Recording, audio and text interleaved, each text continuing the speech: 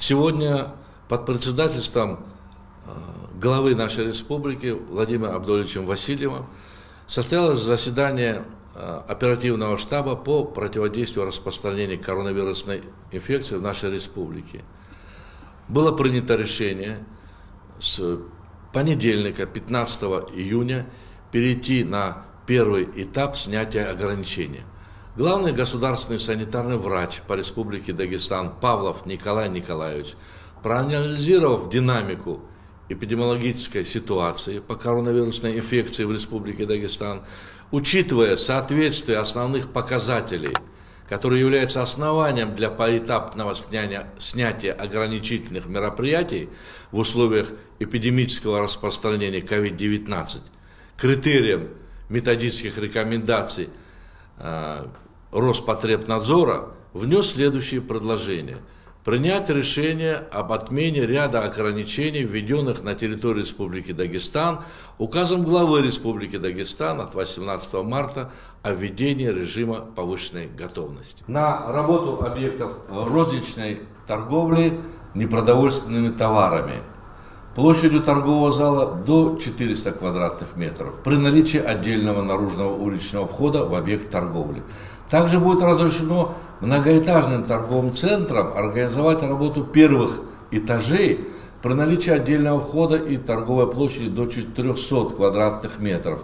При соблюдении санитарно-противоэпидемических мероприятий, массового режима, дезинфекционного режима и социального дистанцирования, в том числе нахождение в торговом зале посетителей при условии соблюдения расстояния между ними не менее полтора метра, нахождение у каждой кассы не более двух посетителей при условии соблюдения расстояния между ними и работниками магазина не менее полтора метра, в том числе путем нанесения соответствующей разметки.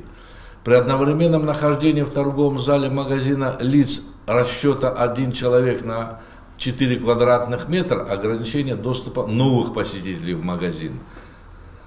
Также на предоставление бытовых, коммунальных услуг, работу салонов красоты без оказания косметологических услуг, соляриев, парикмахерских, на одно рабочее место, косметических, в том числе маникюра и педикюра. Оказание услуг каждому посетителю должно проводиться по предварительной записи соблюдением временного интервала не менее 20 минут между посетителями для исключения контакта между ними.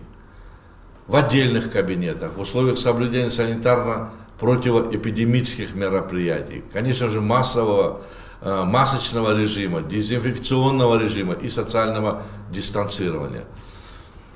Все это распространяется также и на работу прачечных и химчисток при условии соблюдения санитарно-противоэпидемических мероприятий, в том числе приема по одному клиенту с обязательным соблюдением расстояния от сотрудника до клиента не менее полтора метра, в том числе путем нанесения соответствующей разметки.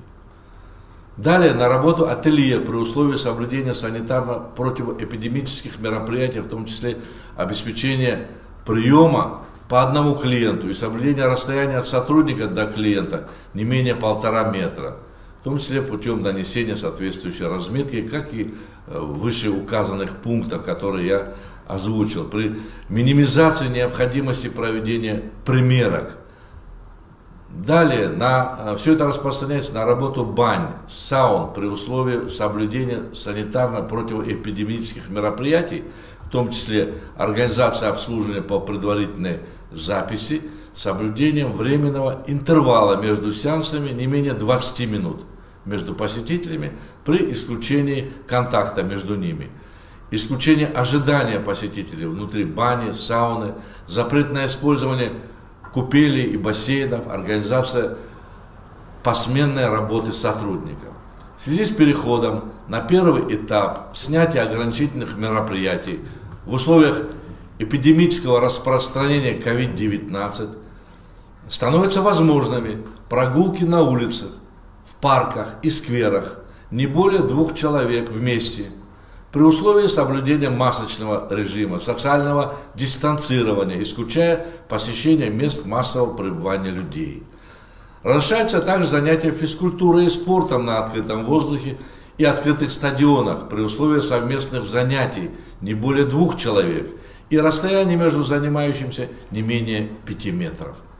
Я хотел бы поблагодарить наших граждан за то, что они соблюдали условия самоизоляции. Все это позволило нам снять ограничения в рамках первого этапа и вернуться к работе магазинов непродовольственной сферы, учреждений бытового обслуживания.